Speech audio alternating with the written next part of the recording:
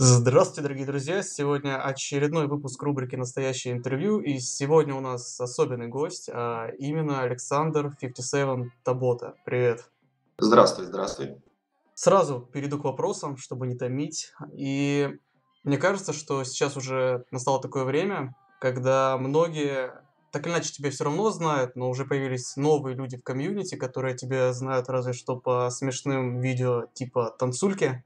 И поэтому я хочу тебя спросить вопрос немного про историю того, как ты попал в Лигу Легенд. Можешь вот поподробнее рассказать, а, как ты заинтересовался именно этой игрой, чем, может быть, увлекался до этого? Ну, все очень просто. Я увлекался компьютерными играми. В принципе, как очень многие из моего поколения, прогуливая школу, шли в клубах компьютерные, играли. А, я не играл в доту вообще до этого, в первую доту, ту самую, ну, может быть, два-три раза в несознательном каком-то возрасте, когда я не, не мог запомнить. Затем вышла интересная, по моим меркам, игра Демигод. Мы по локалке побегали с друзьями, начали искать что-то похожее.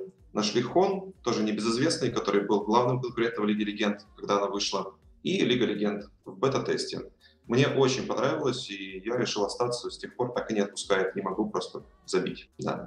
По этому пути, так сказать, вот 5 или 6 даже уже лет игры в Лигу Легенд э, мне встречались разные организации, разные люди, где я работал или просто с кем сотрудничал, или с кем дружил и так далее. И, ну, в целом, я бы не сказал, что новое поколение игроков, вот те игроки, которые только сейчас приходят в Лигу Легенд, они знают меня по Rage Video. Скорее, уже вот э, старые более игроки знают по Rage Video, тем самым с первого сезона, когда мы с друзьями собирались, э, покрывали друг друга, так сказать, э, матом просто по фану. И оттуда и вышла, так сказать, вот эта вот э, предыстория с Rage Video. Меня больше, наверное, знают как по, ну, по Старладеру, скорее всего. То есть вот тот самый чувак, который почему-то на первых двух сезонах работал, а затем куда-то пропал, и все. Кстати, вот про StarLadder будет вопрос, но сейчас мне даже интересно, а почему ты в конечном итоге не пошел по пути про игрока? Потому что, в принципе, учитывая твои навыки игры, твой уровень игры, твои так скажем, стаж, у тебя, в принципе, были, наверное, все шансы быть э, среди тех, кто сейчас играет в топ-командах на StarLadder. И вот интересно, почему ты решил этого не делать? Очень хотелось, честно скажу, очень хотелось, когда русские риоты пришли, то есть вообще русский офис Riot Games открылся у нас и э, там был такой ивент, э, первый российский чемпионат, насколько я помню, ПРЧ.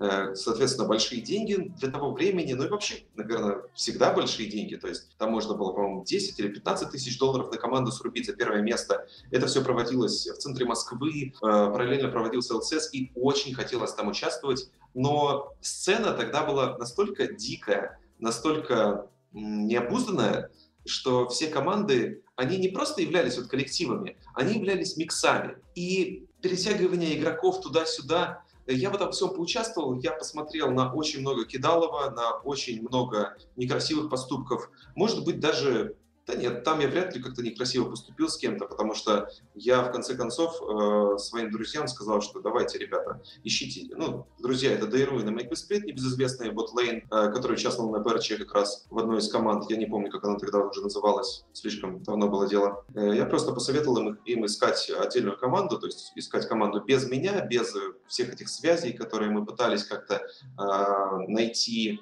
то есть Flash and Night на мидлейне был, Хацуми на топе, потом пошли всевозможные кидалоба, уходы, перетягивания. Ну и в конце, в конце концов с этим ивентом у меня связан такой вот отказ от киберспорта. Я играл тогда слабовато из-за перерыва, потому что нужны были элементарно деньги, чтобы выжить. Я пошел работать, опустился где-то до уровня, ну, платины, наверное. Поэтому с этим ничего не вышло и зарекомендовал себя как довольно ну, слабый игрок, наверное, и слабый еще потому, что так сдался и не поучаствовал в турнире. Был, кстати, на ивенте как пресса. А, и с тех пор для себя я закрыл этот путь, просто не хочется. Понимаю, что в СНГ многого в Лиге Легенд добиться как игрок пока что, наверное, не получится. Деньги, опять же, минимальные. Я вот говорю уже второй раз это слово «деньги», а, потому что, ну, человек, когда он вырастает, ему нужны средства, чтобы жить, чтобы снимать квартиру, чтобы кушать что-то, чтобы покупать что-то. Поэтому это немаловажный аспект. Вот так, то есть все упирается, в принципе, в неудачные, неудачные обстоятельства какие-то во время как раз начала всей этой движухи, связанной с киберспортом в Лиге Легенд в России. И, естественно, в печальное положение нашего региона. Ну, я так понимаю, ты сейчас все же не жалеешь о том выборе. Совершенно не жалею, потому что ну, попробовал хотя бы. Плюс попробовал еще много чего. Остановился на том, что мне нравится больше всего и что у меня вроде получается. То есть просто свои стримы. Но запомнили тебя больше всего, как ты сказал, как комментатора и довольно талантливого комментатора. Ты, как уже сказал, отработал два сезона на Старладере. Абсолютно верно. Работал очень качественно, потому что, ну, действительно, ты отлично дополнял комментарии других комментаторов, как Алсиор, к примеру, потому что у тебя было отличное знание механики, отличное знание игры, но в конечном счете ты ушел со Старладера. И да. вот интересно, почему так сложилось, что ты покинул этот проект? Во-первых, э, спасибо тебе большое за ну, как бы добрые слова, потому что в связи с моим уходом и довольно резким уходом, естественно, какой-то антипиар там начинался, и меня пытались э, серьезно запятнать как комментатора, как я сам считаю качественно довольно комментатора, потому что я старался, я люблю это делать, я любил комментировать еще в первом, втором сезоне, когда никто практически этим не занимался, когда такие комментаторы, как Авертум и Генезис, были, скажем, только в разработке, они занимались комментированием маленьких турниров от Лолгейма. Э, я тогда тоже как раз с Лолгеймом сотрудничал, мне э, оставались гиганты типа Иемов и прочих. Ну, это немножко экскурс в историю. Получилось со Старладером, ну, наверное, непонимание сторон. То есть под удар было поставлено мое, ну, не то чтобы существование, но благополучие, как минимум, в чужой стране, где у меня нет никаких связей, никаких гарантий, я не был даже оформлен на Старладере. Я пытался сделать так, чтобы я был там оформлен. Я пытался продвинуть эту идею, то есть э, нормально э, юридически провести иностранного специалиста. Это, конечно, сложно, особенно с накаляющейся э, политической ситуацией. В тот момент было чрезвычайно сложно, но реально. Э, мне навстречу, к сожалению, не пошли. Причем не пошли э, как-то очень странно. То есть я, э, у меня есть юридическое высшее образование, я примерно представляю себе, как это что делается, плюс вызванию пару знакомых, они тоже подсказали, посоветовали. Мне начали, ну, как бы, говорить совершенно не то. То есть с оформлением там какая-то ужасная беда была. То есть как будто люди не понимали, что я им говорю, что я них хочу, и они не понимали как раз, э, и я не понимал, что они говорят. То есть там полное непонимание. Э, то же самое с деньгами. То есть изначально, опять же, деньги, деньги, понятное дело, мне нужно жить, мне нужно там себя кормить, девушку свою, все такое. А, изначально мне обещали тысячу долларов а, на руки, когда я уезжал, мне платили около 400. То есть вот такая вот. Там, конечно, это как-то связано с курсом э, валюты внутренней, украинской, то есть гривны, как-то связано, возможно, еще с какими-то вещами, но изначальная договоренность не была выполнена, поэтому мне тоже пришлось вот так вот, э, к сожалению, расстаться с этой организацией. Ну и плюс то, э, ту опасность, которую я ощутил, когда сказал, некоторые инсайды, так сказать, что говорили за моей спиной, что планировали за моей спиной, то есть просто оставить меня в Москве в очередной раз на ланах, когда у меня опять же девушка, все вещи, э, все документы в Украине. Э, это было, ну, это был удар от которого мне сложно было оправиться, и, если честно, сложно было адекватно даже реагировать на это. Это очень сильный удар по психологическому состоянию, очень сильный удар, который как-то активировал во мне определенные, наверное, защитные реакции, и я поступил так, как поступил. То есть собрал вещи, абсолютно все, которые были, пошел, поехал в аэропорт и улетел ближайшим рейсом, без особых предупреждений. То есть вот так вышло. Слушай, а как ты считаешь, а почему так решили с тобой поступить? Ну, то есть, то, как, то, как ты сейчас описал, что тебя собирались э, в Москве, можно сказать, кинуть? Ну, наверное, потому что я стал не особо нужен, потому что изначально был Лосиор как приглашенный, как, наверное, порекомендованный э, русскими райтами сотрудник, комментатор для открытия большой лиги. Алсиора ставила задачу найти еще комментаторов, и, соответственно, эта задача была чрезвычайно тяжелой. Э, тогда работала GS-студия, которая, э, в которой были такие комментаторы, как Avertum, э, если не ошибаюсь, Ubiprox и Night Genesis тогда как раз наращивал свои навыки, избавлялся хоть от какого-то, от каких-то дефектов речи, то есть он что-то как-то, ну, в общем-то, это не секрет, я не пытаюсь его сейчас оскорбить, он об этом рассказывает на своих стримах. У него, правда, было все очень плохо, и он тогда что-то с этим делал. То есть он был не готов комментировать. И, соответственно, выбор пал только на меня, потому что Flash and Night хотел играть, у Каутона были определенные свои наработки, и он комментировал какую-то лигу параллельно с нами. Я, правда, не помню, как это называется, но было дело. И в итоге остался я. Меня в это дело втянули, меня вытащили из родного Подмосковья и перетянули в Украину, и, соответственно, там я начал работать вместе с Алсиором, работать по-черному. Работали мы зачастую очень-очень жестко. Бывали дни, когда там, 3-4 часа — это только наша стар-серия, плюс еще полный ЛЦС европейский, то есть где-то там с двух-трех дня до двух, двух ночи, то есть 12-часовой рабочий день, это не было что-то из ряда выходящее. Настолько высока была нагрузка, настолько много нужно было комментировать. А, затем, соответственно, ГС-студия распалась, потому что риоты прекратили финансирование, а, их лиги и, как я понимаю, их проекта. Пара еще комментаторов дозрела, такие как Кинезис, АТР, опять же, втянулся в это дело, он захотел комментировать. Нашлись люди, и я ну, перестал быть незаменимым. Ну и поскольку у меня была уже подпорченная какая-то репутация, риоты на меня смотрели сквозь пальцы, э, само собой, я не особо сейчас удивляюсь, когда спокойно об этом мыслю, что э, руководство захотело ну, подумала о том, как от меня можно избавиться. И избавиться как можно, типа, проще, менее затратно, чтобы не нужно было там ничего мне выплачивать, чтобы не нужно было никак от меня отмазываться, просто избавиться. Я так, эту, да, эту ситуацию вот так я воспринимаю примерно. Вы можете и не правы, честно. Здесь я не претендую на объективность. Это то, как я вижу, то, что было. Но в конечном счете ты уже, в принципе, вряд ли когда-нибудь с ними будешь снова сотрудничать. Да, в конечном счете, когда я даже уехал, и мне позвонил э, координатор э, лол-направления на Старладере, это Виталий Семенюк, э, и предложил какое-то, возможно, в дальнейшем сотрудничество. Он попытался как разрулить эту ситуацию, я был жутко на нервах, поэтому, ну, я просто послал его, как бы, как умею, как все умеют, да. Я, но он предлагал какое-то сотрудничество в будущем, возможно, э, не стоит так разрывать и как бы, ну, сжигать мосты все эти. Я не думаю, что возможно наше сотрудничество после всего сказанного мной и после всего сделанного ими.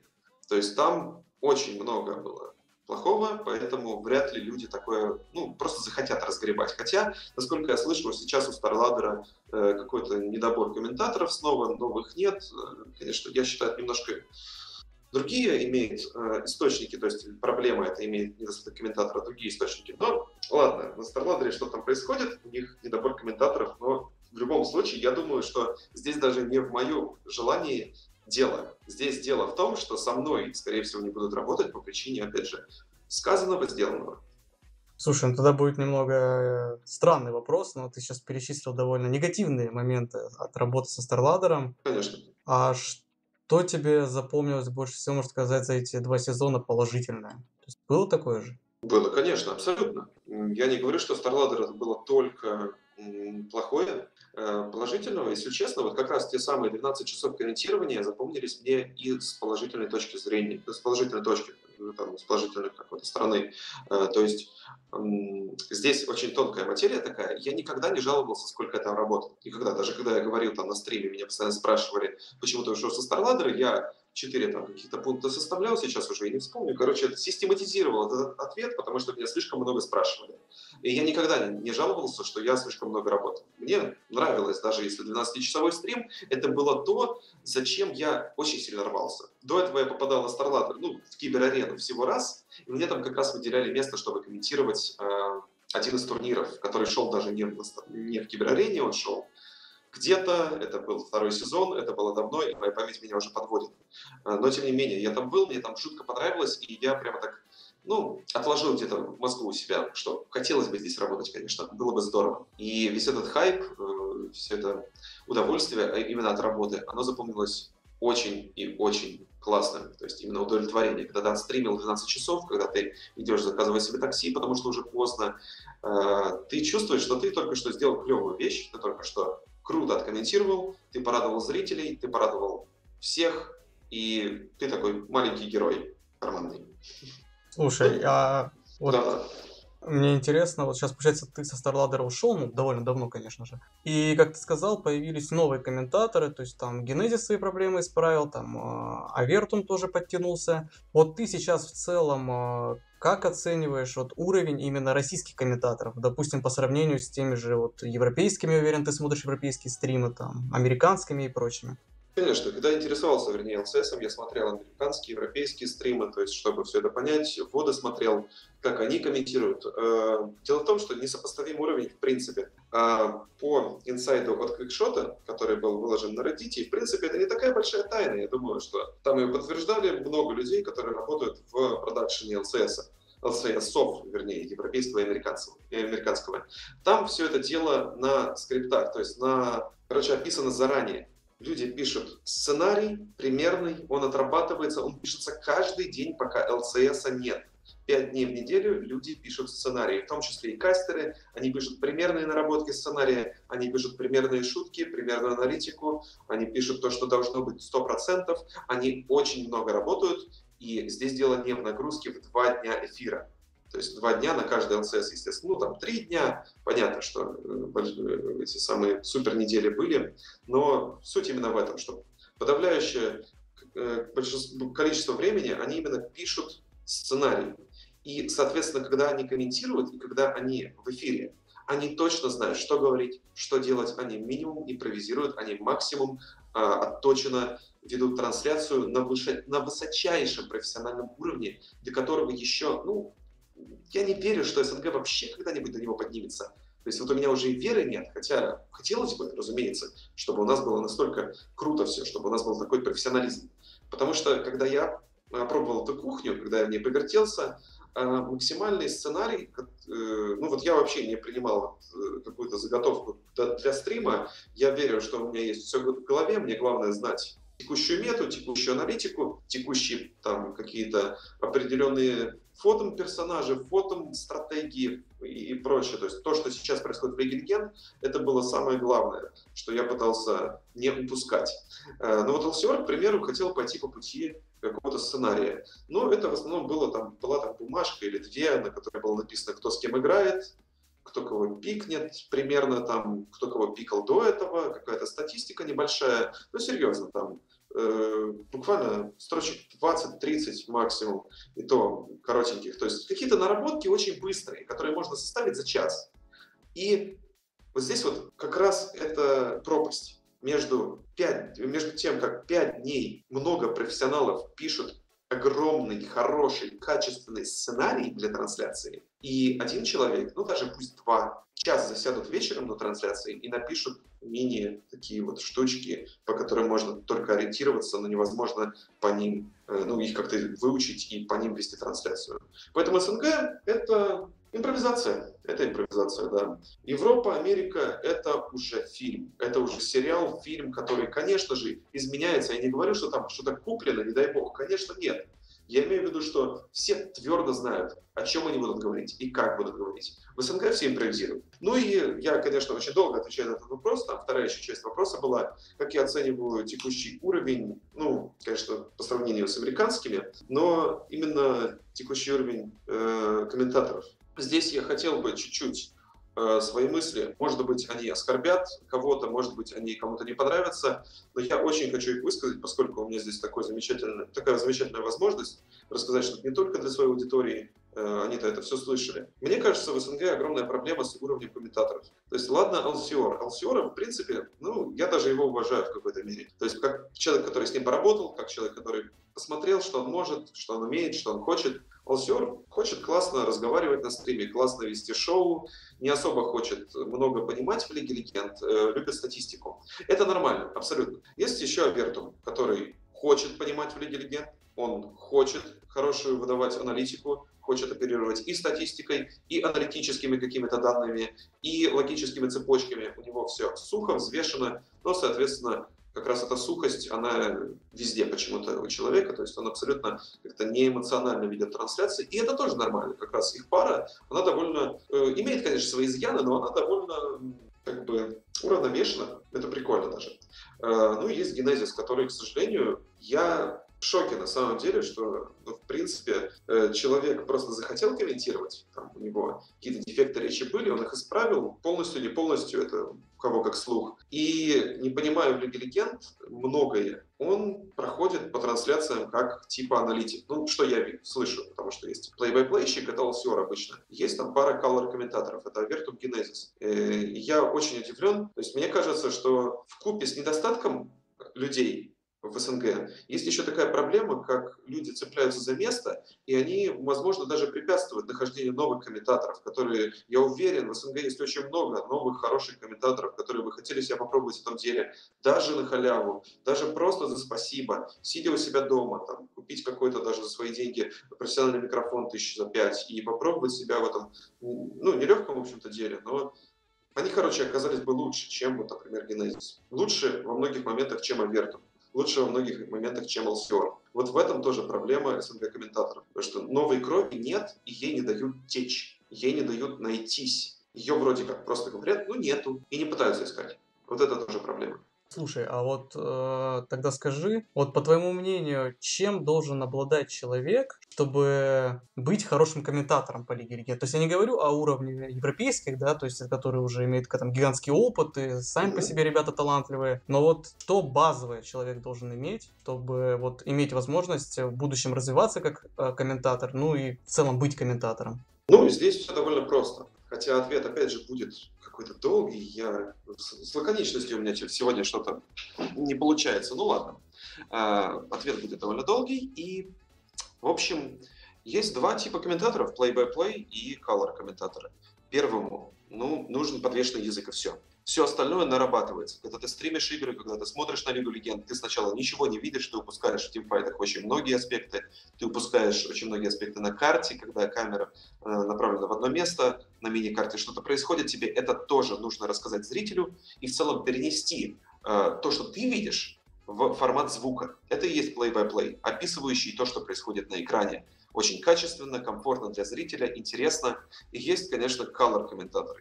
Это намного интереснее, на мой взгляд. Это аналитик, это человек, раскрашивающий то, что набрасывает э, плей-бай-плейщик. Это человек, который заполняет пустые вот эти вот промежутки, когда нечего сказать своей аналитикой, своими знаниями. И здесь э, такому ну, начнем, конечно, с плей-бай-плейщика, то есть подвешенный язык и очень много тренировок, очень много практики, очень много э, трансляций, которые будут как-то обозреваться определенным э, ну, надзором, то есть, ну, типа, поставить того же Алсиора над свеженайденным комментатором и заставить Алсиора на ошибки указывать. То есть должен быть какой-то ментор, какой-то тренер. И все. То есть для плей-бай-плейщика больше не нужно. Красивый, хороший поставленный голос, все. Ты готов.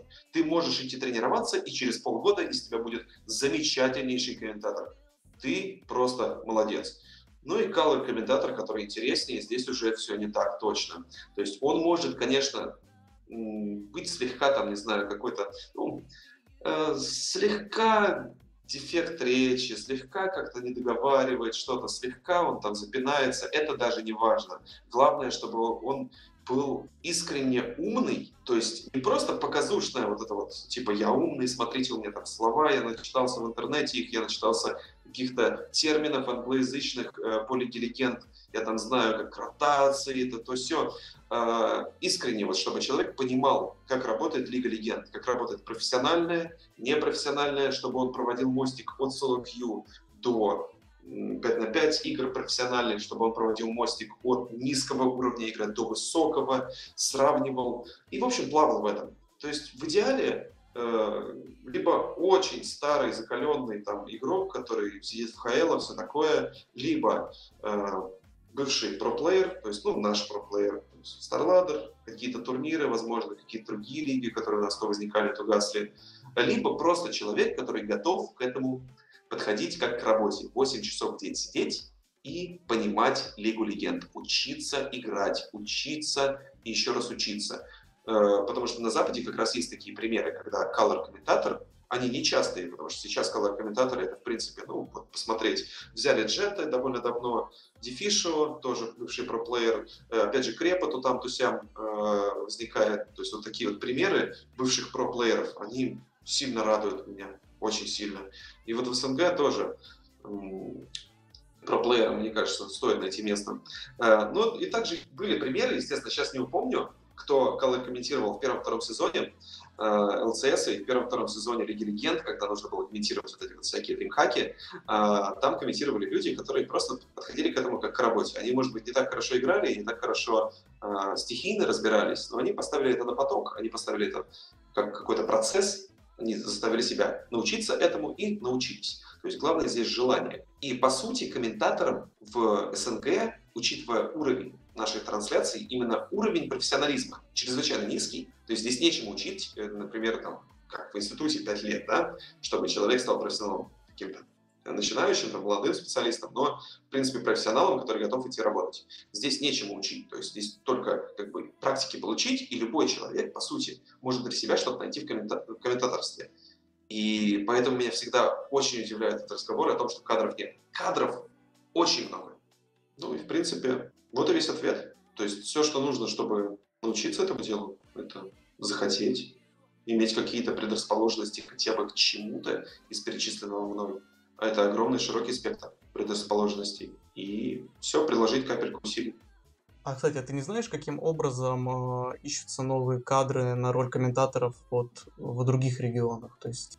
На самом деле не знаю. То есть, скорее всего, естественно, это про игроки, которые подходят и честно говорят, что так и так. Возможно, я пойду на пенсию через год. Будет ли у меня место у вас, дорогие Riot, моя любимая компания? Падаю вам ноги. А, про, собственно, комментаторов, которые проходят через э, Challenger-серию, то есть под, э, через лигу под LCS, через маленькую аматер-лигу, так сказать, но все еще такую полупрофессиональную, я бы назвал ее даже профессиональную, но аматер. Как-то так, я уже запутался, как ее назвать лучше, но тем не менее, через нее проходят новые комментаторы, и насколько я помню, у Райтов на сайте даже есть вакансии, то есть они просто ищут талантов, вот где могут. Они находят каких-то талантливых ребят, возможно, которые работали на радио, возможно, которые просто, не знаю, были стендаперами у себя в городке, э, может быть, ютуберами, ну, мало ли, какие они, э, какие источники они э, считают, как бы сказать, не считают важными, то есть не, не важными, а востребованными, то есть какие источники они э, рассматривают как э, реальность, откуда можно взять вот материал. И они пропускают всех, то есть в разработку берут и, соответственно, смотрят, кто на что гораст, кого можно м- оставить, кого можно попросить уйти. Э, и это классный подход, честно скажу. Вот как я себе его представляю, опять же, это все субъективно, крайне, не претендую на объективность, не претендую на все знания. Э, это то, как я вижу по таким э, довольно, ну, по таким вещам, как объявления на сайте Райтов, то, что я видел, слышал на, собственно, трансляции, то, что я вижу, какие комментаторы приходят, откуда они приходят. Это очень клевый процесс. Это тот процесс, которого в СНГ нет в принципе. Он был в первых двух сезонах Лиги Легенд, э, когда LOL Game и Empire TV, тогда еще сотрудничавшие, набирали молодых, клевых ребят, стримеров, даже какая-то группа была, э, аббревиатурное название, опять же, давно не помню. Э, и там был как раз Авертум, там был еще кто-то, может быть, даже нет, там был Nightend, Avertum, Ubiprox, вот эти вот ребята, которые впоследствии стали комментаторами, они даже светились на парче. Э, и вот тогда это было почему-то когда пришли русские Riot ы, этого не стало. Это странно, но я не думаю, что это из-за русских Riot ов, думаю, что просто так сложилось. У нас сейчас этого нет, поэтому рынок комментаторов, если так можно назвать, у нас пустой абсолютно. У нас нет комментаторов. Кто-то забанен, как я и Каутон, то есть персона нон грата. Э, хотя я не знаю про Каутона, но вроде, опять же, Генезис на стриме говорил, что Каутон тоже персона Нонграта. Э, кто-то уже где-то имеет какую-то занятость, например, Найтенд, который комментировал на ГС студия, а сейчас он вообще э, какой-то типа помощник менеджера у Нави. Э, а кто-то уже на Старладере, и все, пустой. Нет комментаторов. На самом деле можно найти нас. Но никто этим не занимается. Ну, а, кстати, а как тебе, допустим, в роли аналитика, как я помню, на чемпионате мира на Старладере выступал стажер. Как, э, как ты в целом оцениваешь его работу? Сказать, я был поражен аналитическими способностями стажера еще во времена второго сезона, когда случайно по какой-то причине пошел с ним в дуо. Или это третий, ну, в общем, когда-то давно. А, он очень классно рассказывал мне те аспекты игры, которые я э, понимал чисто стихийно. То есть понимал какой-то подкоркой, вот всем своим естеством. Я понимал, зачем мы так делаем. Но он просто ненавязчиво в скайпе сидел и рассказывал мне, почему я это понимаю. И с того времени, когда я даже не представлял, что стажер, там, кто он, что он, на что он способен, как он играет, я того еще времени понял, что этот человек, он в принципе, если захочет, будет очень классным аналитиком или очень классным тренером. И как индивидуальным, там вот эти все школы скилла и же с ними, так и тренером для команды. Поэтому я могу сказать только положительное о стажере. Я могу сказать, что у него хорошо получается. Видно, что не хватает практики какой-то. Но опять же, у меня не хватало практики, и у всех не хватает практики изначально. То есть нужно работать год, полтора, два, чтобы э, про тебя сказали, да, у него есть классная практика комментирования. И год, полтора, два каждый день каждый день практически заниматься чем-то похожим на комментирование или э, приготовление к трансляции. К трансляции. А, так что вот, да, стажер довольно классный аналитик. И единственное, что он еще, как бы мне не то что по секрету, но лично говорил, что хочет отказаться постепенно от э, игры самой, как, ну, позиции про игрока, и пойти вот чем-то около Лига Легенд заниматься, как раз тренер, комментатор и так далее. Но пока он этого не делает, пока что у него раз позиция сменилась там на джангл, насколько я слышал, не слежу за этим, но так, чуть-чуть обрывки слышу. Ну да, он в лесники ушел в Хартмандом. А значит, его карьера, так сказать, э, просто свернула, и она переродилась потому что я думаю, что хороших лесников у нас в СНГ очень мало тоже, так, по наблюдениям, вот таких прям топчик. Те же, та же команда стажера, когда он был в составе с Flash Night, да и Руином, она страдала от того, что лесников менять, находить, как-то все неприятно. И тоже, опять же, лично при личном общении многие жаловались, жаловались, что вот такой вот лесник, что вот лучше не нашли. Поэтому карьера стажера не прерывается, даже близко, как он что-то хотел, может быть, он был в какой-то депрессии или около того, она скорее перезагружается, и удачи ему. А, возможно, потом, через несколько лет, он вернется как комментатор, как аналитик. Я думаю, ему будут только рады, потому что, судя по его стримам, судя по тому, как э, ребята в комьюнити Лиги Легенд воспринимают его, ему рады многие, и очень мало кто не рад. И вот этим вопросом про стажера я так тебя подвел плавно к обсуждению в целом э, уровня нашей СНГ-сцены в игровом плане. Вот э, мне интересно спросить тебя, как у человека, который, в принципе, видел зарождение нашей сцены и вот видит сейчас э, то, какого уровня она достигла. Спросить у тебя, как ты оцениваешь в целом тот прогресс, который вот сейчас э, достигла наша сцена? То есть ты его вообще видишь? И какие ты перспективы видишь у нашей э, у СНГ? Вообще вопрос очень сложный. Первое, что созрело в голове, э, там, громогласно заявить его нет. Но сейчас я разжую, почему я так думаю. Вернее, почему я так думаю, но это неправильно. Э, дело в том, что Лига Легенд – игра меняющаяся постоянно, я об этом уже говорил. И здесь как гонка, то есть прогресс, он должен быть не только, скажем так, с точки до точки. Прогресс – это должно быть ускорение. То есть ты адаптируешься к игре, но ты ускоряешь свое адаптирование, ты ускоряешь свое, свое понимание меты, ты ускоряешь свое так, э, наращивание э, механического умения, потому что оно происходит тоже у всех регионов, у всех игроков. Мы все играем в эту игру и становимся лучше. Кто-то быстрее, кто-то медленнее. Так вот, э, мне кажется, в нашем регионе оно пошло даже медленнее. Во втором сезоне были составы, вернее, состав был White Lotus, под предводительством Думечи, э, с Флэшем Найтом, Стажером, Дейруином, Мейкли Сплитом и, соответственно, Думечи в лесу. Это был состав, который, ну, топовые европейские коллективы э, сражались выигрывали часто, но также часто и проигрывали.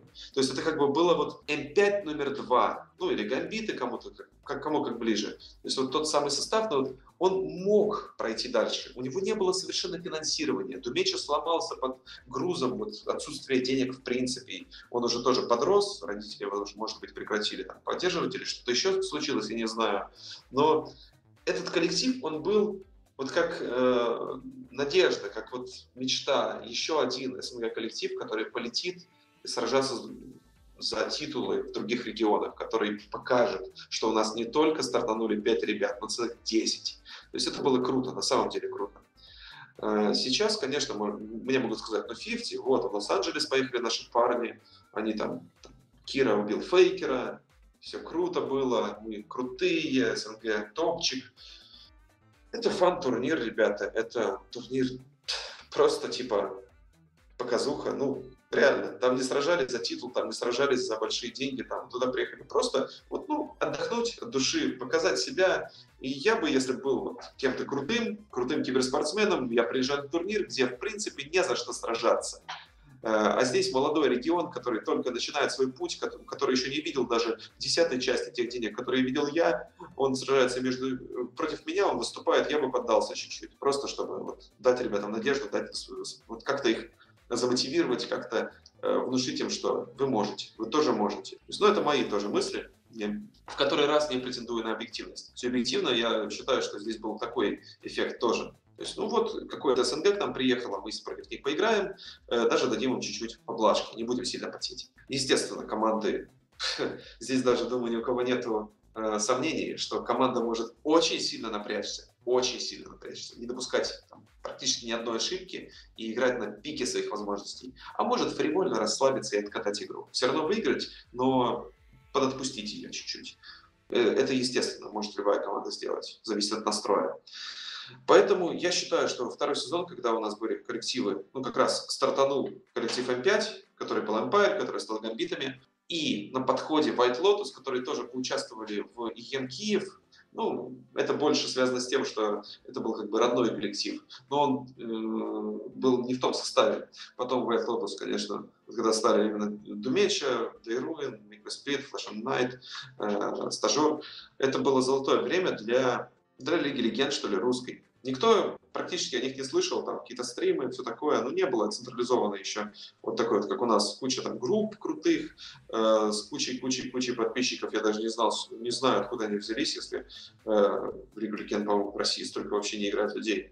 Ну, э, в любом случае, тогда особо никто не знал об успехах White Lotus, но я как какой-то фанат, не знаю, друг, фанат, э, наблюдал за ними, и мне нравилось. То есть, э, почти победить фанатиков в э, квалифайере на очередной ЕМ китайский э, фанатикам. Фанатики там, как это говорится, замашнили, то есть что-то там пауза им не понравилось, и в итоге дисквалифицировали Lotus. Думечу порвало из-за этого, естественно. Э, разбивать мимов раз за разом, и мимы тогда были очень сильная команда, не стоит смеяться, потому что я понимаю, там у мимов не, не удалось в ЛЦС, э, сама организация заработала себе крайне дурную э, характеристику, но тем не менее а, тогда это было круто. А сейчас, ну, мы сражаемся друг против друга. Наш регион замкнут. И я говорю, не я с кем-то сражаюсь, а команды русские сражаются друг против друга. Регион наш практически полностью замкнут, как биосфера такая своя. Э, иногда наши команды едут за границу, вот как сейчас, там, поехали туда, поехали сюда, классно все, топчик ничего не скажу плохого. Но в целом это, конечно же, Star Ladder, Star серия, битвы друг против друга, и здесь мало роста, ребят. Здесь как раз замедление развития. Я ни в коем случае не хочу э, как-то преуменьшать достижения того же Ликрита, который взял топ-1 Веста сейчас хоть оно и в межсезонье, это все равно топ-1 Веста, это все равно очень круто. Я не хочу преуменьшать достижения того же стажера, который в Чалике висел весь сезон, э, ну, практически там мастер, иногда, понятное дело, мастер Чалик это высокий мастер равно Чалик практически. Тем не менее, не хочу преуменьшать. И есть круто играющие люди, но в целом уровень региона, он именно страдает из-за того, что мы зациклены сами на себе, мы не сражаемся против лучших, мы сражаемся просто против чуть-чуть более хороших. В этом проблема. Если бы нам в регион закинули каких-нибудь там, две команды, хорошие европейские, хотя бы из челленджер серии, мы бы поварились с ними годик, и либо все вообще бы распалось, потому что люди бы не видели призовых. Призовых забирали бы две европейские команды. Э, либо не распалось, и регион научился бы играть на уровне челленджер серии европейской. Пока что я думаю, что мы намного слабее. А ты не считаешь, что в ну вот в таком вот упадке СНГ-сцене, ну, конечно, не упадке, но, в принципе, в низком уровне СНГ-сцены во многом виноваты Riot со своей политикой вот именно изоляции регионов, со своим а, запретом а, командам, допустим, вот ЛКС там и прочего ездить на небольшие турниры, и тем самым вот именно создавая эту изоляцию. И получается, что во многом именно Riot должны работать над тем, чтобы СНГ-сцена поднялась. Иначе без их поддержки этого не выйдет. Вот ты согласен с таким мнением? Пожалуй, согласен. Ну, естественно, это звучит на уровне там моська на слона лает, то есть кто я такой, и кто такие райты. Мое мнение ничего не значит абсолютно.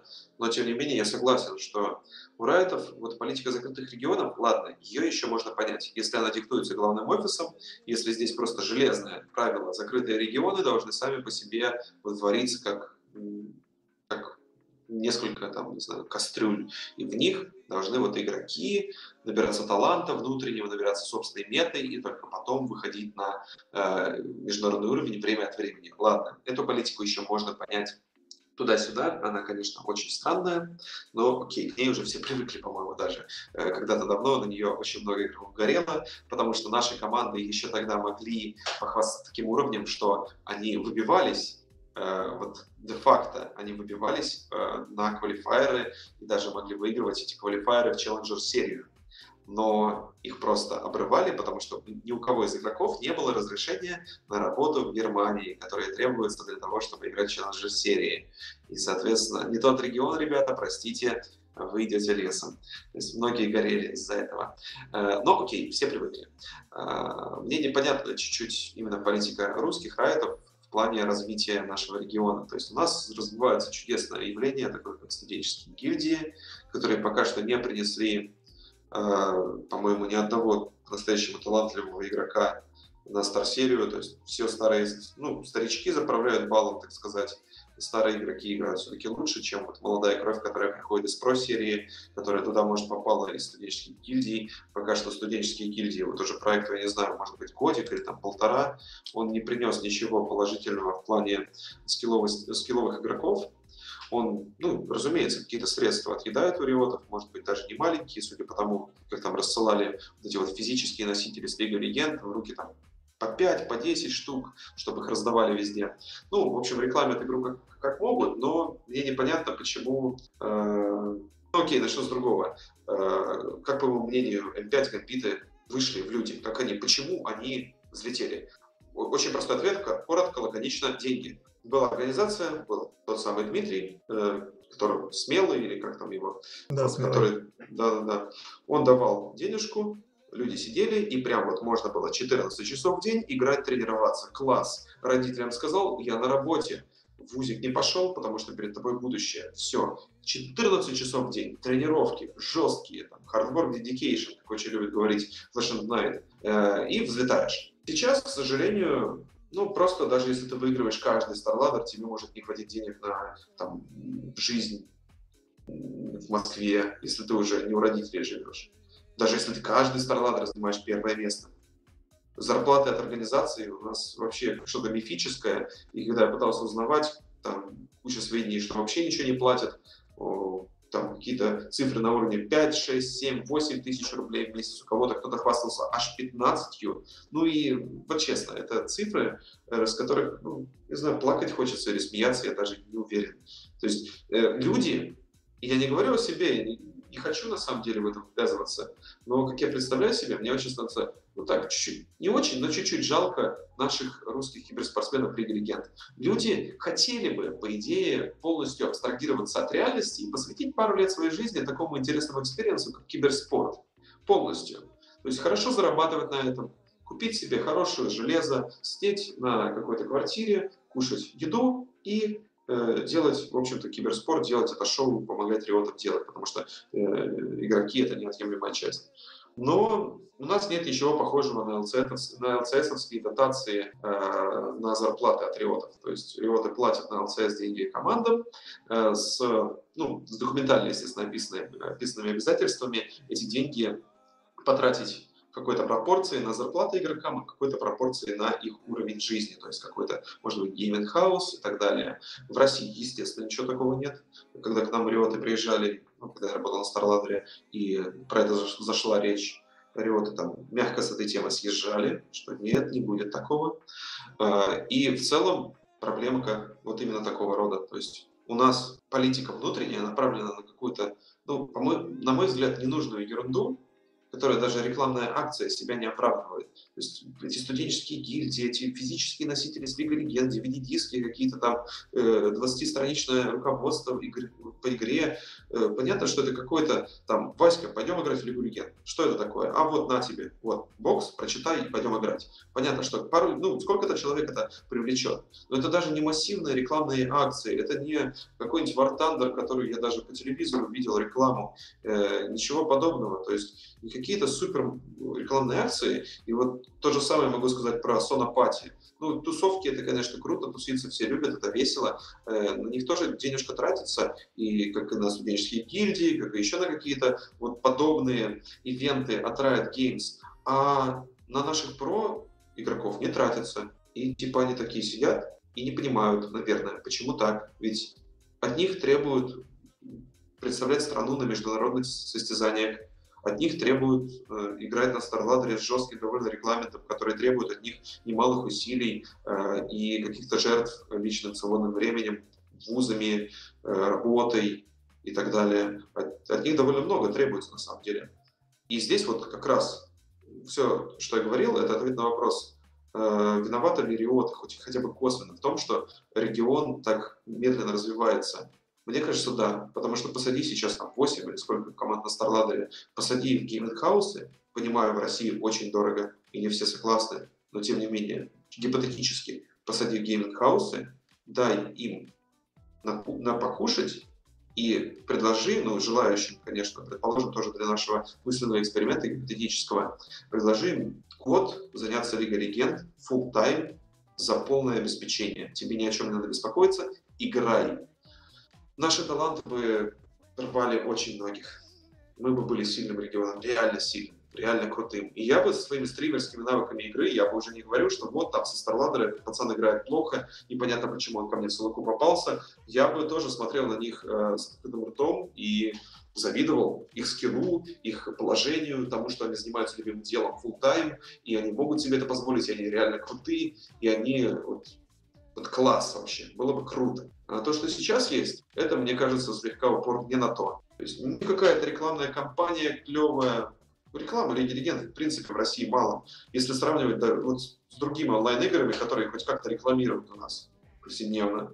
Те же танки, очень много рекламы, даже, вот, не знаю, недавно мимо Бургер Кинга проходил, там какой-то бургер для танкистов, World of Tanks. Я офигел. Вот это, это реклама. Где бургер для League of Legends игроков? Нету потому что реклама у нас в России вот такой жесткой, навязчивой, чтобы э, цапнуть аудиторию, нету. Но это полбеды. А то, что про, pro-player ы страдают, и у них элементарно зарплаты человеческие нет, вот это огромная проблема, которую Riot ы могли бы решить, но почему-то нет, не решают. Ну, сейчас видно, что они просто стараются ну, хоть и довольно вяло привлечь просто новых людей в LoL, то есть не сделать новых киберспортсменов, а сделать просто новые, так скажем, объекты для доната, но, тем не менее, уже я сам слышал, вот, допустим, от менеджеров команд российских, что планируется сами Riot ами вести все-таки LCS в России.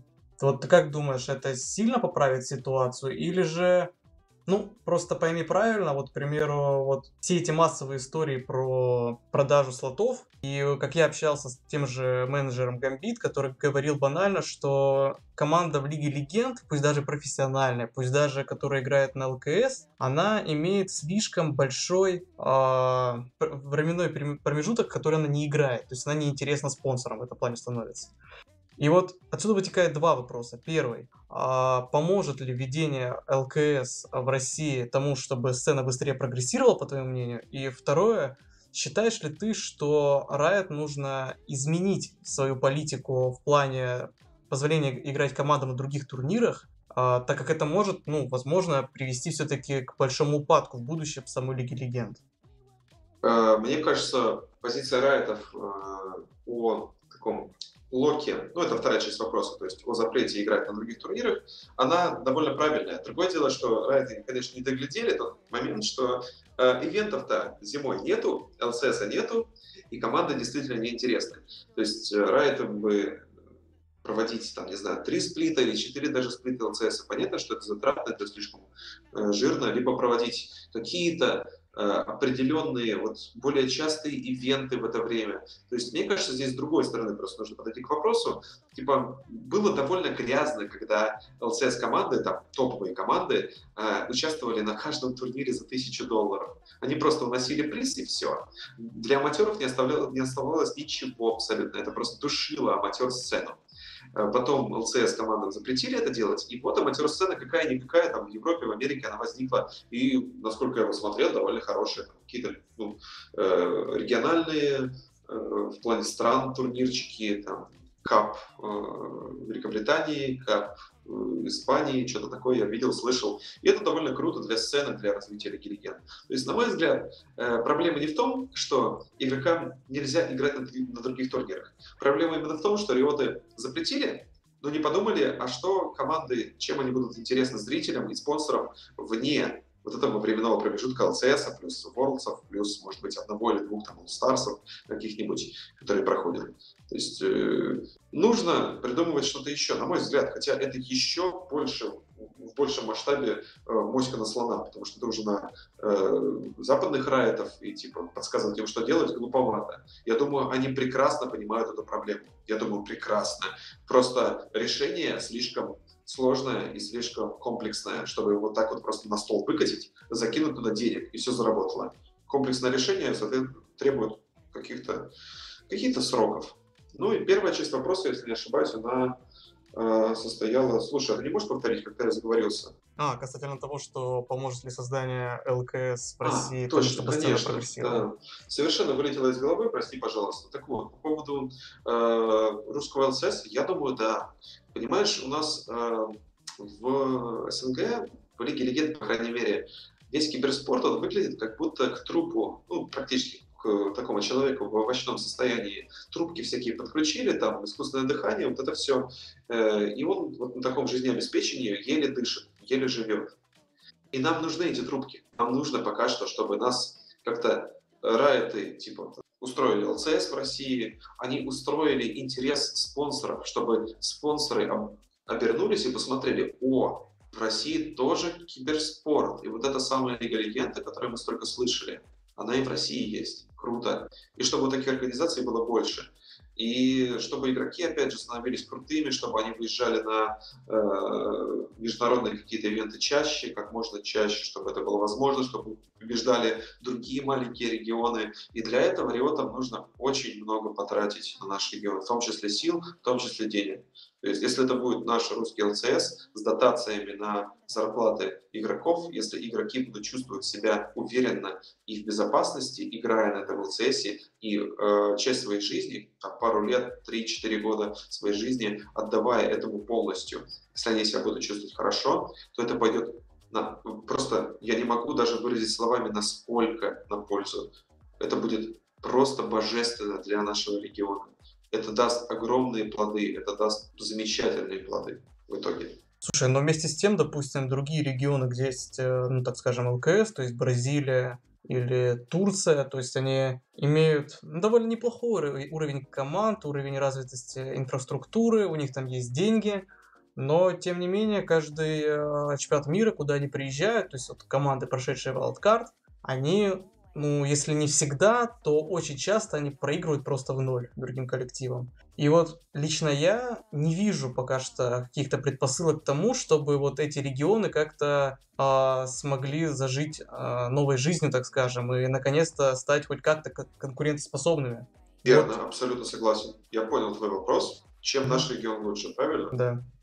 Мне кажется, наш регион имеет намного выгодное положение географически, элементарно. Все закаленные старые игроки на StarLadder сейчас — это best игроки. Там практически нет людей, которые начинали с сервера. И но при этом, если ты живешь в Бразилии, тебе просто негде играть было до недавнего времени, там, до бразильского сервера, до латиноамериканского какого-то сервера, тебе негде было играть толком и негде получать вот тот самый скилл от игроков высокого уровня. Ну и ни для кого не секрет, что игрок, например, на ру-сервере или в Турции, который там, так сказать, родился, то есть там зарегистрировался, там вырос, докачался, пошел в ранкеты, только там играл, взял себе челленджер, он может трансфернулся на сильный регион, то есть Вест, Америка, Корея, Китай, то есть сильный регион, хоп, трансфернулся, и офигеть, какой разрыв между ним и между даже Diamond 1 игроками не в его пользу. Вот в чем проблема. И, на мой взгляд, наш регион здесь э, на голову выше, потому что у нас есть топ-1 Веста, у нас есть чалики и мастера, у нас есть D1 пацаны, и у нас есть ребята, которые там в прошлом брали высокие рейтинги. Это все у нас. Это не в Турции, это не в Бразилии. Нет, разумеется, наверное, турецкий игрок, там тоже есть чалик какой-нибудь топ-10 или топ-15 Веста. Но я считаю, что попробовать стоит. Потому что такое расположение, такая история, связанная с Лигой Легенд э, в нашем регионе, что наши ребята, они практически вестовские. Если бы не это ограничение по регионам, я бы уверен, что э, много наших ребят играли на Challenger серии сейчас, вот прямо сейчас, если бы не было ограничений в принципе. Всякие стажер, Некрит, они бы играли на Challenger серии и рвались бы в ЛЦС без проблем. Но ограничения есть, поэтому проблемка. Э, ну и с другой стороны, вот у Бразилии и Турции, конечно, тоже есть определенная фора. В Бразилии очень быстро раскрутилась Лига Легенд. Я не знаю, я бы, вот честно, вот если бы мое желание какое-то можно было исполнить, я бы просто пожелал, чтобы бразильские, бразильские риоты научили всему, что знают русских риотов в плане рекламных, рекламных акций, раскрутки, как урвать аудиторию, как что сделать, потому что в Бразилии невероятно много фанатов, это все невероятно развито, и даже по стримам можно заметить на том же Твиче, и я на самом деле не знаю, на каких платформах стримят бразильские э, ребята, но на Твиче я видел бразильский стрим 15-16 тысяч человек онлайн. СНГ такое даже не снится для просто стрима человека, который играет в Солоку, даже если он местный киберспортсмен. Э, стрим стажера сегодня 600 человек. Там стрим, я не знаю, кто это был, из какой команды, 15-16 тысяч. Ну и, естественно, вижу частенько 5-6 тысяч онлайна. И это просто показатель по стримам. В Турции тоже, э, когда Лига Легенд только начинала развиваться, туда пригласили СКТ команду. Они играли шоу-матчи со всеми желающими, с кастерами, с какими-то местными проигроками. То есть в Турции тоже сразу ухватились э, крепко и поняли, что чтобы делать большие деньги здесь, нужно эти большие деньги сначала вложить и раскрутить как следует. В Турции тоже теперь и у игроков сейчас зарплаты внушительные, которые нам не снились, опять же, э, как региону, и э, ивенты тоже очень внушительные. То есть в Турции все круто. У нас ничего не круто. То есть у нас и уровень игры сейчас не крутой, и в плане денег, которые заработать здесь может человек, э, играя в Лигу Легенд, все не круто. А ведь сколько он может заработать, это прямо пропорционально тому старанию, которое он будет вкладывать до определенного уровня. Есть такое, такая мысль, что если человек видит перед собой там, цифру в 10 тысяч рублей, он будет стараться настолько. Если 20, настолько. Если 100, то уже по максимуму. Ну, скажем, для парня, который учится в ВУЗе, это очень хорошие деньги. А, если он видит там больше 100, уже он не будет добавлять э, больше старания, потому что, ну, в принципе, не знает, куда деньги тратить. То есть какой-то какой уровень жизни он должен достигнуть, чтобы отдавать себя на 100%. И я про это твержу уже, наверное, года два. Меня, естественно, никто не слушает из-за моей репутации, подпорченной, мягко говоря. Но мне кажется, это умная мысль. То есть у нас ничего нет. Так дайте нам хоть что-то, дайте игрокам хоть что-то. Э, у нас нет ни популярности игры, ни допуска в другие регионы, ни крутых спонсоров, не крутой поддержки от Райта. Ну, хотя бы что-то. Одно из этого. И было бы уже намного лучше. И у наших игроков нет возможности, как у европейцев, уйти, к примеру, из вуза взять перерыв или в армию они Конечно. не ходят, как наши. Да. Армия тоже проблемка, хотя от армии там вот Дейруин, например, как-то отмазался, я уж не знаю как, ну, естественно, все понимают примерные процессы, как это происходит. И, и в целом, да, с этим, ну, с этим, мне кажется, можно там что-то как-то делать, что-то туда-сюда, э, причем многие, какие в Лигу Легенд, сходили в армию, служили, вернулись, там, э, снова начали апать себе Элла, почему бы и нет. А, но тут тоже проблема, конечно. Конечно, у нас Э, мало кто берет академ, даже чтобы поиграть в Лигу Легенд. Это просто звучит нелепо. Боже мой, брать академ, чтобы поиграть год в Лигу Легенд. Но на самом-то деле мы понимаем, как э, фанаты киберспорта, что это совсем не нелепо. Это как раз очень нелепо, как в мемасе. Так вот, это как раз очень даже обоснованно прекратить учиться чтобы вложить свои силы в какой-то experience. Это даже не карьера, это просто опыт жизненный, который позволит тебе, может быть, накопить денег, а может быть, просто накопить эмоций.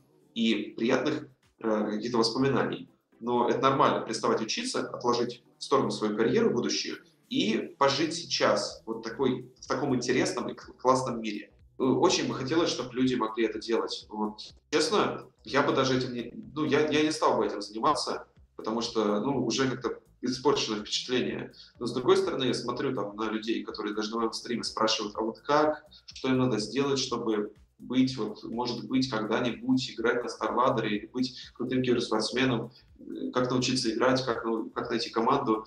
А, мне бы хотелось, чтобы у них было вот клевое, светлое будущее в СНГ, как э, у любого из европейских прогеймеров, чтобы они вот могли отдаться этому полностью, могли утолить вот жажду свою, играть в Лигу Легенд и выигрывать без проблем. В конце концов, сейчас игра в Лигу Легенд на про уровне в России это довольно рискованная затея.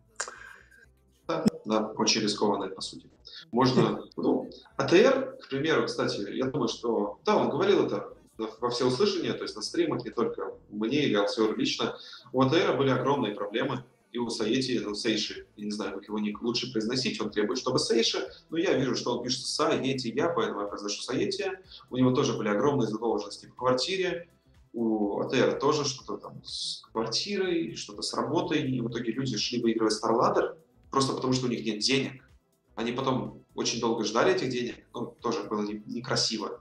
И в итоге за проплееров было дико обидно, рискованно, конечно, играть. Ну и, кстати, довольно интересно, что ну, лично мне кажется, что канал дважды два своей трансляции чемпионата мира по Лолу в России сделала для рекламы самой лиги больше, чем российский Райт. Ну это так, мысли вслух. Э, да, при этом их трансляция была, по-моему, полным фиаско. Полным абсолютно. Э, начиная от э, времени, когда она была проведена, то есть это сквозной эфир через чуть ли не там 12 часов после начала, после конца трансляции в интернете. Это всего лишь две или три игры, э, по-моему, даже две, но я могу ошибаться, может быть, три из ГО-5 полного, насколько помню. Но, опять же, могу ошибаться. Это какие-то очень странные полуперевод, полукомментирование плюс комментирование Старладера. То есть есть к чему, вот у меня очень много претензий даже. Не то, что есть к чему прицепиться, у меня очень много претензий.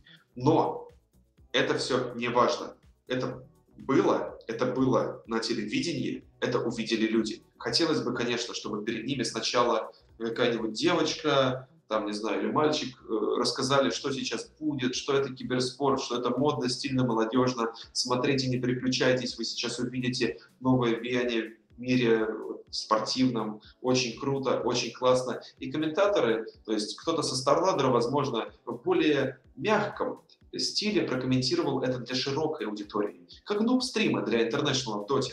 Это было бы очень здорово, но, типа, конечно, отличный враг, враг хорошего, но было хорошо. Было не отлично, но было хорошо. Действительно. Это была реклама Лиги Легенд, прямо реклама с большой буквы, как я ее вижу, когда я приводил пример. Там, танкобургер, э, Бургер Кинге или какие-то рекламы по телевидению, э, я имел именно в виду это. Э, в Лиге Легенд очень мало в России вот именно таких рекламных акций, которые русские райды почему-то тупо не устраивают, не хотят. Хотя, по сути, простора для мышления очень много. И судя по тем же сонопати э, или студенческим гильдиям, э, денег там вроде тоже немало у русских рионов, но вот такая рекламная акция была пока что только одна, такая массовая, звонкая, крутая. Ну, ПРЧ в Москве не рассматриваю как рекламная акция, туда пришли те, кто уже знает. То есть это была именно такая тусовка для тех, кто в теме. Туда съезжали со всей страны, чтобы посмотреть на ЛЦС, чтобы посмотреть на русских игроков в том числе, ну, прежде всего на ЛЦС, там же. ЛЦС проходил параллельно. Так, все-таки случилось то, что многие ждали, а, а именно объявили о том, что теперь в России будет собственный ЛКС, то есть наша континентальная лига, будет э, довольно солидный приспул в размере 4,5 миллионов рублей, будет собственная студия, ну, которую пока мы не видим, но обещают на ближайших неделях уже ее показать. Вот как ты лично считаешь, вот как, как во-первых, тебе вообще это новости, и много ли изменится на нашей сцене в связи с этим событием? Вообще, эта новость, э, собственно, не сюрприз, потому что еще на, в период работы на Старладере ходили слухи о том, что риоты когда-нибудь возьмут все под свой контроль, но ожидалось именно ребрендинг. Ожидался ребрендинг. То есть ожидалось даже, что ничего никуда не переедет, останется также на StarLadder, просто риоты будут более ну, как-то больше контролировать весь процесс, возможно, э, менеджер по направлению от Riot Games. И как-то так все ждали, насколько я понял, или, наверное, может быть, только я этого ждал именно в таком ключе. Остальные владели какой-то более широкой информацией, которая позволила им ожидать именно вот такой лиги. Поскольку сейчас мы видим а, не просто шаг, не два, не три, а скачок просто километровый вперед. Это лига, которая, во-первых, контролируется риотами, и это хорошо еще и с юридической точки зрения. И вдвойне хорошо то, что риоты платят игрокам, платят командам за участие, не только за победу. Э, естественно, цифры — это полнейший инсайт, э, где-то какие-то слухи я уже слышал, кто-то уже что-то запалил, не буду говорить ничего, но очень-очень хорошие деньги для наших э, проигроков СНГшных сейчас пойдут. Еще, насколько я знаю, не пошли, поскольку еще сплит не закончился, но игроки наконец-то могут расслабиться, наконец-то могут получать удовольствие от участия в таком событии, от того, что они являются элитой СНГ Лола, и от того, что они участвуют на самом высоком доступном для региона уровне.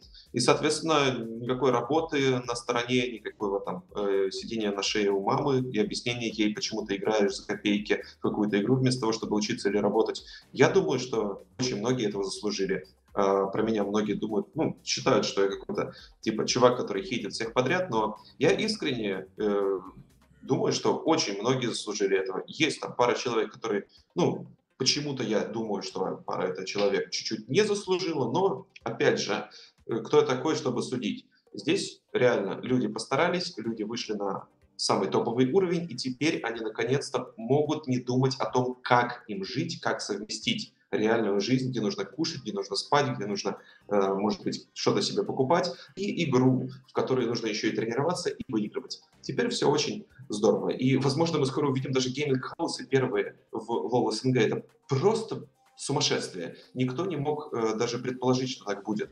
А вот реальность. В этом году, я думаю, вполне можем увидеть gaming house какой-нибудь. Или хотя бы bootcamp адекватный.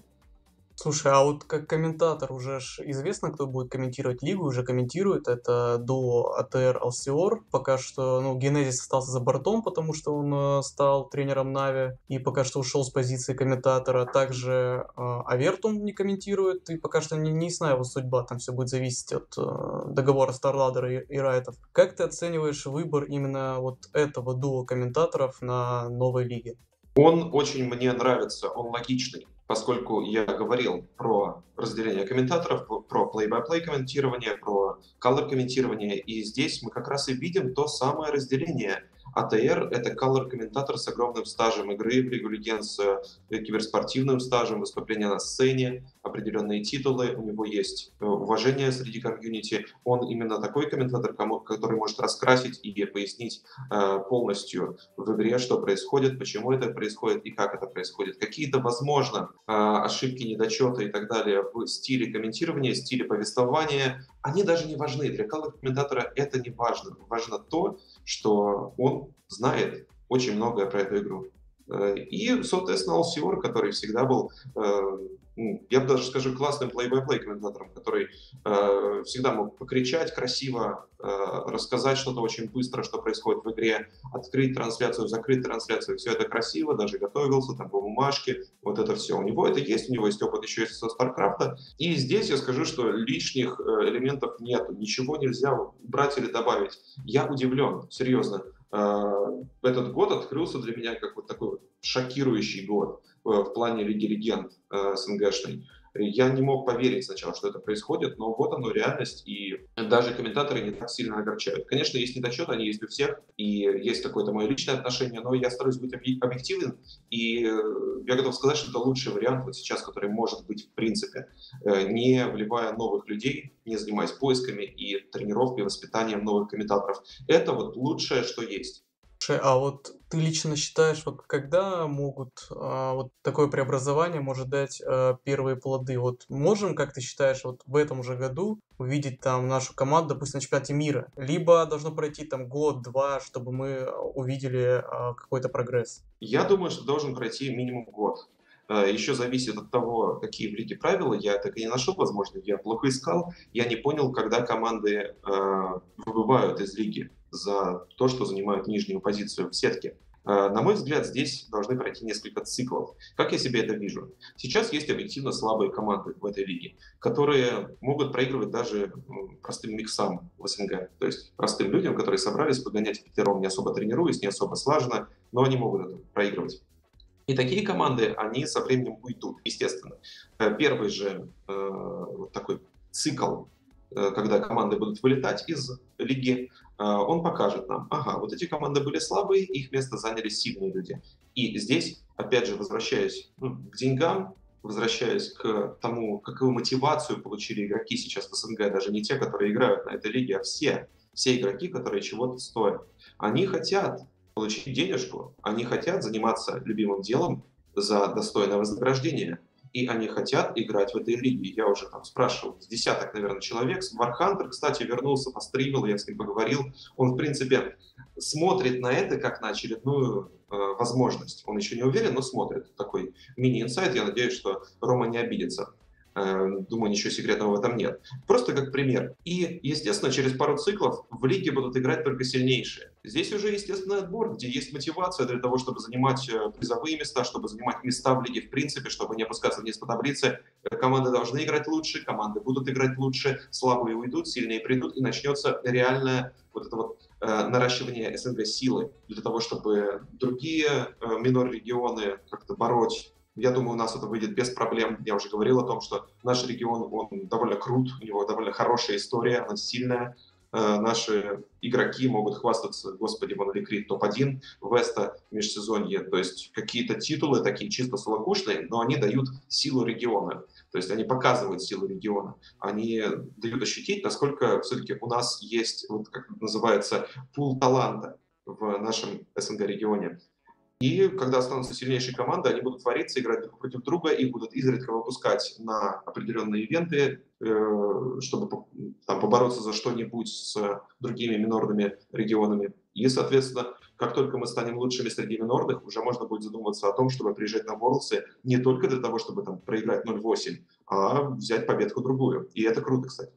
Ну а вот ты сейчас говорил о перспективе, то есть появление новых команд, новых составов, но сейчас мы уже имеем, что имеем, то есть 8 э, сформировавшихся составов, в том числе и довольно сильных составов, выскажу свое мнение, это, допустим, те же Hard Random либо Нави. Вот э, сейчас очень много людей и просто и аналитиков э, уже делают какие-то свои прогнозы. Вот ты, я думаю, уже хотя бы вскользь ознакомился, какие уже есть составы, и вот кого ты сейчас считаешь а, определенно лидерами в грядущей борьбе? Хард рандомы очень сильные. Вот потенциально они очень-очень сильная команда, но я видел пару их игр, одну из которых они проиграли, кстати, практически в сухую. Такое впечатление, что их стомпили. И какие-то проблемы у них присутствуют. А, на мой взгляд, если они смогут перевороть все свои внутренние проблемы, если они смогут а, найти новых идей, а, новых стратегий, если они не проиграют эту гонку с метой, о которой я тоже говорил ранее, то, на мой взгляд, они могут занимать топ-1 без проблем. Э, я за них даже так подтапливаю, потому что все-таки стажер. Стажер классный парень, без проблем. Он очень клево играет, с ним очень прикольно общаться. Он э, яркий представитель вот, хорошего СНГ комьюнити. А, и команда Дробаша, да, команда Дробовика, Таурена, всю жизнь, сколько помню, начинал я знакомство с ними, э, играя в одной команде, затем наши пути разошлись, и я топил за них и буду топить всегда. Классные ребята, скилловые, хорошие в общении, желаем только успехов. Я думаю, что вот это вот будет топ-2. Хотя, кто знает, в СНГ все возможно. Сейчас, если вот следить за этой лигой, я уверен, будут такие перевороты и такие внезапные победы и поражения, что просто ужас. А вот ты сейчас назвал топ-2, а вот топ-3 ты бы кого отнес? Может, Рокскис или вот а, Нави? Наверное, Нави, поскольку у них очень-очень сильные импортные игроки. Очень сильные. А, Топпер так себе, конечно. Ну, типа, я опять же не могу судить, он очень классный игрок, но он не показывает пока что себя. Возможно, задумка команды не дает ему засиять. А вот Мидер, на мой взгляд, он очень сильный, он очень крутой. Э, пару раз в каких-то древних сезонах я его даже видел, кажется, в Солокухе, и так воодушевился. Сейчас вспомнил ник, ну, ник запоминающийся, в общем-то, поэтому без проблем. Э, так что да, наверное, топ-3 Нави. Возможно, нет, пока не буду думать, возможно, кто еще, поскольку слишком мало знаю про команды. Так что вот топ-3 будет такой. А, кстати, после объявления о том, что будет континентальная лига, на сцену ворвались те, кого на самом деле многие ждали после последних новостей, именно Gambit Gaming. А, они уже, ну, как я помню, они уже объявили свой состав, они будут принимать участие в, так скажем, нашей Challenger Series за попадание на континентальную лигу. И там в составе уже есть такие игроки, как Лекс, Арчи. Вот ты в целом, как оцениваешь этот состав? И вот считаешь ли ты его перспективным в целом? Э, Фомка, который также в этом составе, насколько я знаю, и да, да я не ошибаюсь, я уже видел его даже в Солокухе с тегом. Э, нет ничего плохого, кстати, чтобы гордиться такой организацией, сразу ставить себе тег.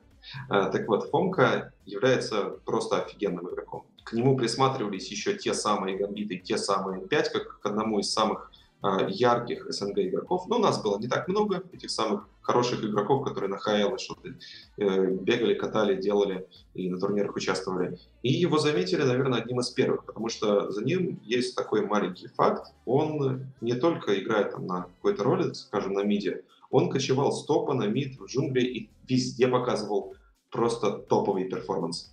Чем-то похож на Смурфа из э, Айчеров. А, и я думаю, что вот из-за фонка этот состав уже можно сказать, назвать перспективным. А, Лекс, также, когда я увидел первый раз Лекса на Стар-серии, я не знал, кто это я не знал, я не понимал, что происходит, потому что это была вроде как команда, прошедшая из про-серии, на которой никто никогда не ставил, никто никогда не смотрел, игроки там были такое, то есть совершенно рандомно можно было пройти в первые два сезона из про-серии. И Лекс произвел впечатление, прям вот такое впечатление. А, тоже, думаю, очень перспективный игрок. Арчи ничего не могу сказать, то есть, ну да, качественный саппорт, э, ну вот прям каких-то мега там, мега ажиотажей или историй за мной не водятся. Э, и, пожалуй, все, то есть там кто еще, замечательные двое, я не знаю, поэтому тоже говорить не буду. Но только из-за двух игроков, вот насколько это важно, два игрока, и уже я готов сказать, что да, у команды есть потенциал, все, точка.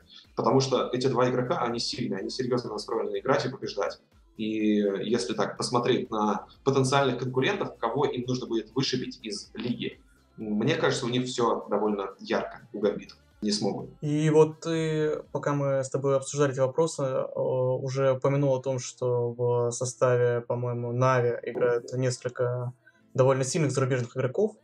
И вот мне интересно твое мнение по поводу того, что как тебе вот эта сама практика, то, что в нашу лигу стали приглашать игроков из-за рубежа. То есть, как считаешь, это положительный а, будет иметь эффект или наоборот? Я считаю, это положительный эффект будет иметь. А, потому что, опять же, больше мотивации тренироваться и становиться лучше. Вот, к примеру, абсолютно абстрактный пример. Живет в СНГ игрок Вася. Он берет себе челленджер, и он хочет играть, или, скажем, берет себе мастер в Солоку на Вексте, и хочет играть в LCL. Он ищет себе команду, и тут ему говорят, Вася, стой, а зачем мы должны взять тебя, если мы можем сейчас купить шведского, там, не знаю, какого-нибудь парня. А, вот у него челленджер 900 поинтов, и он пойдет в нашу команду на такой же роли, как и ты. Зачем мы должны брать тебя? С одной стороны, конечно, кажется, черт возьми, э, шведский парень займет работу Васи, Васи и все будет плохо. А с другой стороны, для Васи это большая мотивация показать себя. Для Васи это большая мотивация стать еще более ценным элементом. Потому что если он возьмет челленджер 900 ПТС,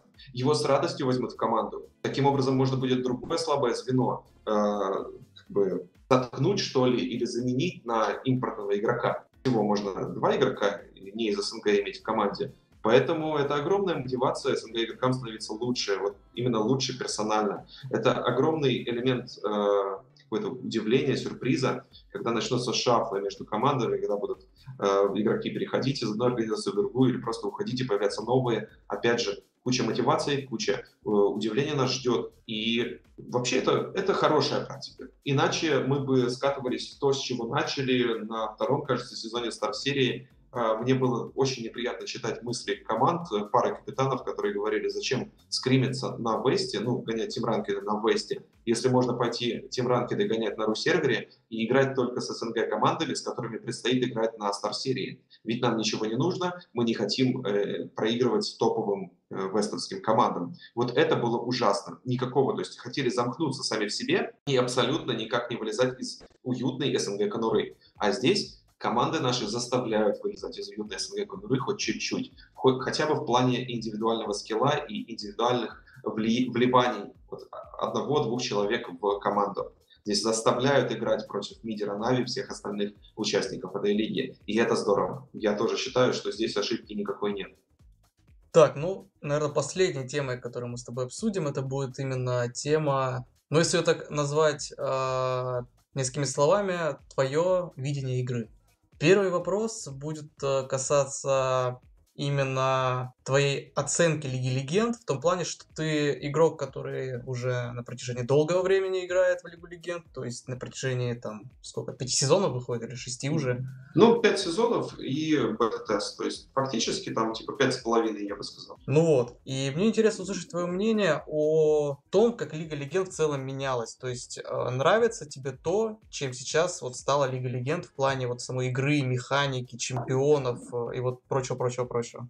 Ну, Лига Легенд ни для кого не секрет, меняется в сторону меньшего сноубола, одним игроком меньшего веса одной роли в игре, чтобы меньше было вот это вот пришел топер, всех убил и выиграл соло. Все еще остались такие аспекты в Лиге Легенд, но с каждым сезоном прямо ощутимо. Э, в патчах не пишут, естественно, типа мы поменяли, сноубола теперь меньше, но это ощущается по, по каким-то косвенным признакам, что ну, меньше, меньше вот этой вот, э, меньше драйва. И это и правильно, и нет. Я бы не сказал, что Лига Легенд движется в каком-то совершенно ненужном направлении.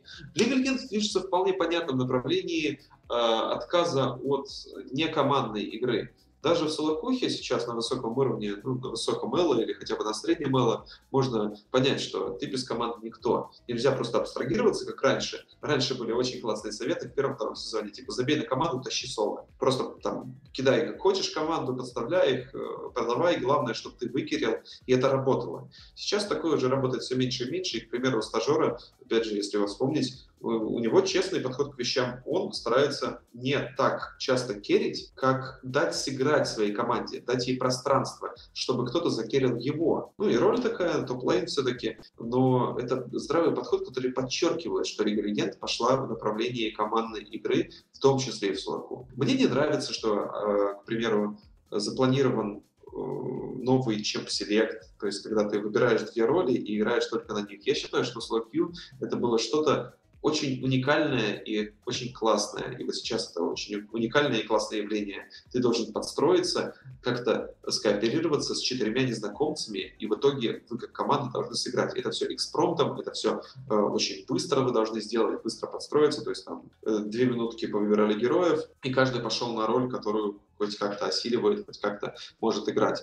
Э, в этом плане Легенд становится чуть более казуальной. Но в целом игра особо не меняется. Хорошо это или плохо? Пожалуй, чуть-чуть плохо с технической стороны. Все давно ноют, что хотят новый клиент, что хотят избавиться от кучи багов, от э, там, восьми сотен мегабайт, которые кушает только само лобби Лиги Легенд э, и таких вот вещей. Хотелось бы, но опять же, анонсирован новый клиент, это классно. Пока что еще его нет, поэтому он анонсирован, но он был раньше анонсирован, посмотрим, сдержит ли свое обещание Riot Games на этот раз. Наверное, да. А, по самому геймплею все здорово, то есть баланс качественно, честно. Межсезонье ворвалось, э, был дикий перевес в сторону марксманов, дикий перевес в сторону ботлейна, на котором, кстати, Ликвид, который упоминался, наверняка взял не одну сотню поинтов в мастере. Э, теперь баланс э, в целом очень качественный, потому что играются огромное количество героев на Хаэла. Не видно вот прямо такого абьюза, какой был во всех сезонах. Я когда-то, ну, в определенный момент сезона всегда видел а, чистый абьюз героя. Это был Алистар в лесу во втором сезоне, это была АП Эвелина Мид в третьем, если не ошибаюсь. То есть это были всякие Сижуани, вот недавно, буквально в начале этого сезона. Но вот сейчас как раз мы подошли к такому моменту, когда баланс в Лиге Легенд очень качественно сделан. И он не вокруг какого-то одного героя, не вокруг какой-то одной роли. Иногда он дает сбой, но не очень сильно. И в целом, я бы сказал, что как игра, как продукт, Лига Легенд сейчас, вот, если не на пике, то в очень хорошем положении. А, она будет еще очень долго существовать и развиваться. И этот продукт можно еще продавать как бы людям в огромных количествах. То есть искать новых игроков, искать новых, э, новую аудиторию во всех регионах абсолютно. Слушай, а вот если у тебя был бы шанс изменить всего одну вещь в Лиге Легенд, то есть вот Вот одну любую ты меняешь. Вот что бы ты выбрал, что бы ты поменял? Ух, сложный вопрос. Я бы добавил voice чат. И все.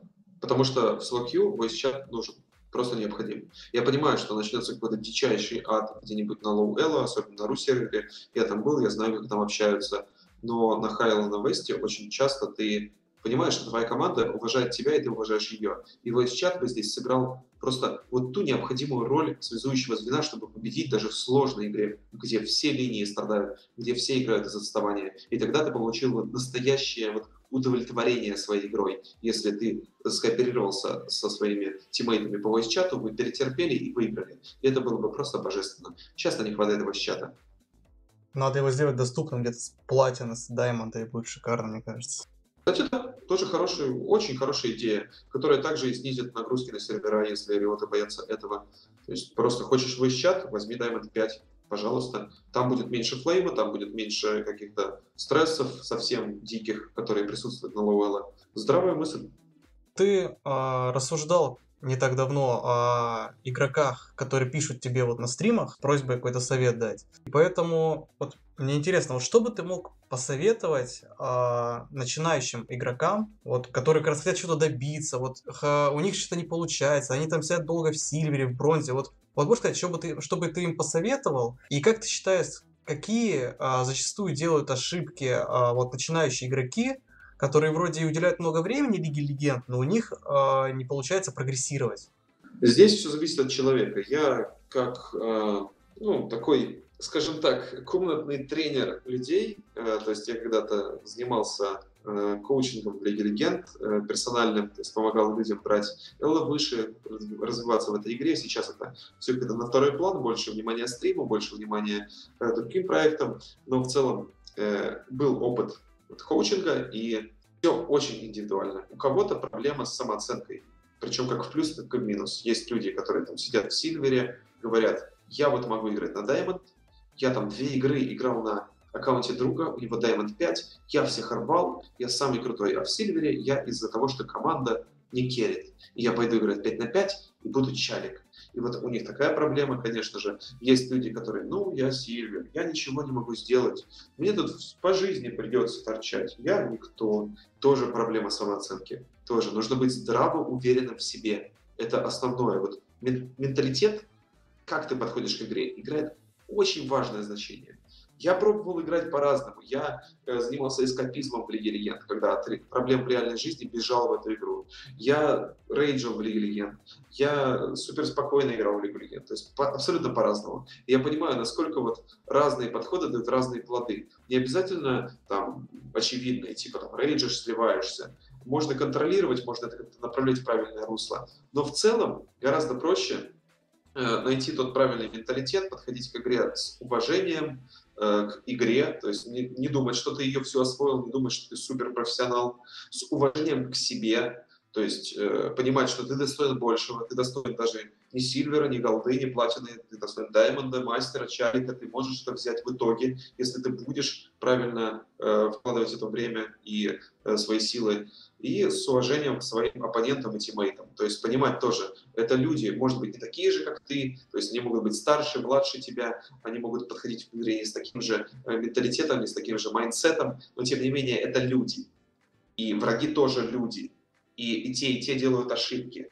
И ты можешь, конечно, там вслух назвать какими ну, как угодно обзывать там, и teammate ов, и врагов, и прочее, но то, э, вот, что прису, присуще очень низкому Elo, это просто какие-то печатки, игра в чат, игра в оскорбление и переписочку по 5, по 10 минут вместо того, чтобы жать кнопки в Лиге Легенд, вот от этого стоит отказаться. Все-таки это ни к чему не приводит в итоге. Поймите, я тоже сам этим занимался, как вот начнешь переписываться, доказывать человеку, что он плохой, он тебе доказывает, что ты плохой. Ну и что? Ничего. То есть здесь главное сохранять какую-то э, трезвую голову. И тогда все начнет получаться, и тогда начнется прогресс. Это прям вот 90 или 95 процентов игроков, которые застряли низко мало, у них проблема с менталитетом. То есть у них проблема, вот она внутри головы а не с руками там или еще что-то, вот просто не могу. Нет, на самом деле ты можешь, ты просто неправильно к этому подходишь к процессу. И вот и все. То есть как-то отрезвить себя, чуть, может быть, э, осадить, может быть, чуть растормошить, наоборот. И постепенно начнет, начнет заходить, я уверен. Очень грамотно сказал. Думаю, многим поможет. Сейчас, пожалуй, будет уже последний вопрос, и он будет касаться твоих планов на будущее, потому что в ходе нашего с тобой диалога ты говорил, что вот э, ты уже вряд ли начнешь э, там тот же э, StarLadder на StarLadder комментировать, ты там уже про игроком не станешь, ну, в силу различных обстоятельств. И вот возникает вопрос, если у тебя все-таки не выйдет э, в Лиге Легенд э, себя проявить как вот комментатор, как аналитик, как тренер? Чем ты планируешь заниматься? Потому что я уверен, что ты над этим уже задумывался. Разумеется. Ну, во-первых, я пытаюсь каким-то образом прокачивать, так сказать, свои скиллы, не относящиеся к Лиге Легенд, чтобы в итоге найти работу, чтобы в итоге э, элементарно кодить, то есть или работать с кем-то еще в сфере IT. Мне это интересно, мне это близко. То образование юридическое, которое у меня есть, мне совершенно не пригодилось по жизни. Ну, где-то там прикладное применение есть, но юристом я проработал от силы там, пару месяцев или три месяца. Э, нет, чуть побольше вру, но полгодика максимум э, из долгих лет, когда я существовал каким-то образом. Э, и планирую я, в общем-то, то, от чего я отказывался раз за разом все эти годы. Я стримил и не понимал, что это не мое проклятие, что я стримлю, а не занимаюсь чем-то полезным, типа, или важным, нужным комментирование про игра или идти на работу, как мне говорили, например, родные, зачем ты вот этой фигней маешься, иди на работу. Я думал, что это мое проклятие. Но сейчас я понял, и замечательные люди, которые меня смотрят на моем канале, они помогли мне помочь, э, помогли мне понять, э, что это не совсем мое проклятие, это скорее наоборот. Э, очень классная штука. Можно стримить, можно получать от них поддержку, ну да, элементарный донат, или просто поддержку добрым словом, или поддержку советом, или делом в трудную минуту. И это здорово. Это тоже занятие, это тоже э, full-time работа, когда ты стримишь, ты организовываешь шоу какое-то, ты постоянно что-то новое придумываешь, и с этого могут идти вполне реальные, вполне нормальные деньги, на которые можно просуществовать, и, соответственно, когда игра будет умирать, или тебе просто надоест, надоест стримить этим заниматься, ты спокойненько пойдешь как-то где-то строить свою карьеру. Хотя это будет нелегко ни в коем случае, но я думаю, что прорвусь. А пока личные стримы, это на самом деле радует, потому что, как я заметил, твои стримы стали еще интереснее, потому что ты, во-первых, стал стримить дольше, во-вторых, ты стал как-то более спокойно и аналитически подходить к своим играм, и это на самом деле очень радует меня как зрителя. Ну, я думаю, мы с тобой очень много чего обсудили, диалог вышел очень интересным.